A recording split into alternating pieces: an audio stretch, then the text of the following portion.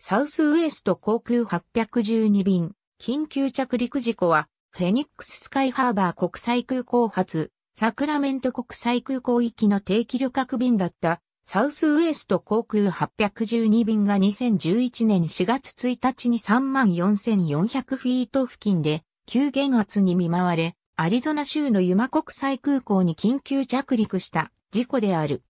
乗員乗客123人のうち2人が軽傷を負った。減圧の原因は、胴体外反のラップジョイントが金属疲労によって構造的に損壊したことであった。812便のパイロットは緊急降下を行った。着陸後に客室上部の胴体に約60インチの穴があることが分かった。米国国家運輸安全委員会の調査で事故前から金属疲労が生じていた痕跡が見つかり、胴体接合部の製造過程におけるミスが金属疲労を招いたと考えられるとする結論が出された。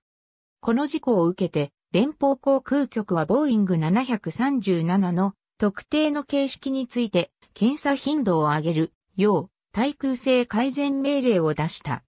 この事故の約3年ほど前の2009年にも同様の原因による事故が同じ航空会社の同型機により発生している。事故機のボーイング737から 3H4 は登録番号 N632SW 製造番号27707、ラインナンバー2799であった。機体の製造は1996年5月22日に完了し、6月13日にサウスウエスト航空に納入された。機体胴体部はカンザス州ウィチタにあるボーイング社の施設で作られた。胴体は1996年4月1日にウィチタから出荷されて同社のワシントン州レントン施設へと届けられ、胴体の前方と後方をリベットで止める作業などを行った。ウィチタで部分的な組み立てを行い、レントンで最終組み立てを行っていた。事件当時、事故機は48,748飛行時間と39,786回の離着陸を経験していた。サウスウエスト航空812便はアリゾナ州フェニックスからカリフォルニア州サクラメントへの国内定期便だった。2011年4月1日、乗員5人と乗客117人を乗せていた。離陸と最初の上昇は正常だった。812便は巡航高度3万6000フィートへ上昇中の現地時間15時58分、およそ3万4000フィートでコックピットボイスレコーダーに衝撃音が記録された。目撃者によると、天井パネルの一つが外れた。約2秒後、機長は、客室の余圧が失われたと放送し、酸素マスクの着用を促した。CVR にはこの時点で風の音が記録されている。機長は航空管制に緊急事態を宣言し、緊急降下を許可された。パイロットは1万1000フィートまで緊急降下した。その高度では機内の余圧が失われても酸素マスクなしで呼吸できる。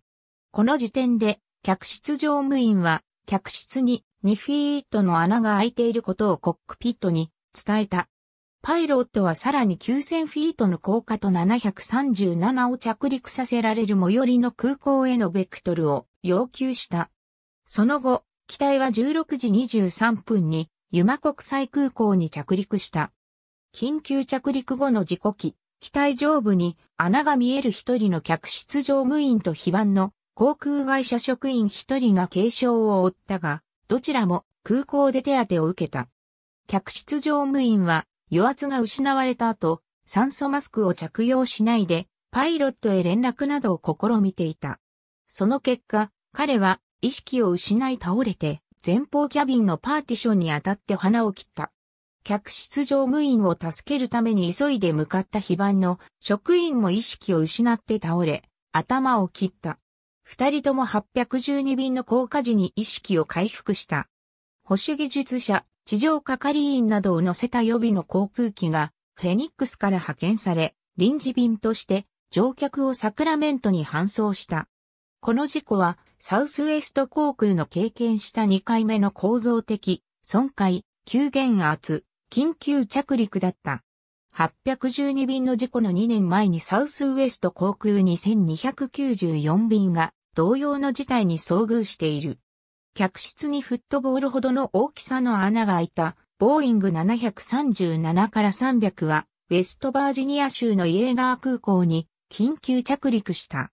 事故により開いた150センチメートルの穴湯までの機体検査では胴体の一部が裂けて開いていたことが明らかになり、そのせいで急減圧が生じたと分かった。最初の報告では胴体の穴は幅3フィート、長さ6フィートの大きさであった。NTSB の調査では胴体の穴の実際のサイズは長さが約60インチ、幅が8インチであった。事故を受けてサウスウエスト航空は自社の所有するボーイング737から300型機80機以上の検査を決定した。検査されたのは過去に機体外違反の交換実績がなかったもので、内動きに亀裂が発見された。事故機は修理されて運行に戻った。2011年4月6日、ボーイング社は737から300、400、500型機の点検のための改善指示書を発行した。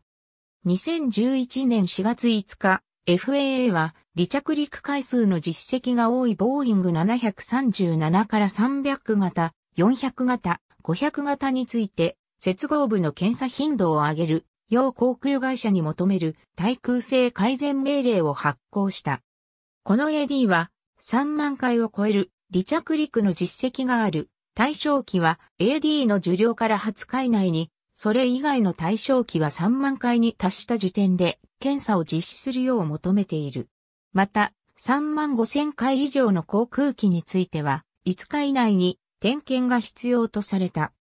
さらに、3万回以上の離着陸を経験している航空機の場合、500回ごとに当該接合部を定期的に点検する必要があるとしている。AD の対象となる機体は、ラインナンバー2553から3132の計580機であり、うち175機が3万回の離着陸を行っており、80機がアメリカで運用されている。ニュージーランド航空は737の300のうち15機を検査し、カンタス航空は21機の737から400のうち4機を検査した。マレーシア航空が運営する737から400型37機の中にも検査を受けることになる機体が存在した。連邦航空局はユマに検査官を送った。国家運輸安全委員会は事故の調査を開始した。NTSB のチームが4月2日にユマに到着した。5フィート超の亀裂を検査した結果、金属疲労が事故前から生じていた痕跡が見つかった。亀裂は接合部に沿っていた。事故以前の2010年3月にも事故機の同じ場所に亀裂が発見され、修復されていた。原因は機体が製造された時の製造ミスだと判断された。ありがとうございます。